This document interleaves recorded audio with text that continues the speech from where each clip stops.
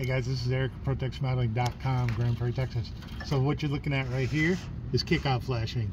The reason you need that is you want to direct water over that shingle that rides down the roof of the, this roof line right here over the shingle, past that corner and into the gutter. If you don't do that, what happens is that water goes this way, gets between your gutter and your siding, rots out your corners.